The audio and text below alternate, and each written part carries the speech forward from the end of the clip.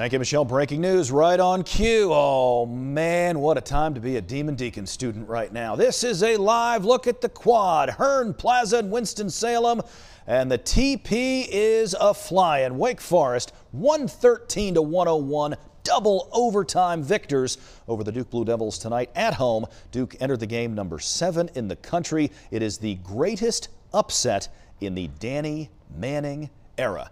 Chris Lee, Lauren Walsh, there in the locker room, getting podium sound, getting player reaction right now. We'll check in with them in just a little bit. Boy, a big talk about Fat Tuesday down in New Orleans. Bigger, fatter Tuesday in Winston-Salem. We're back in a minute.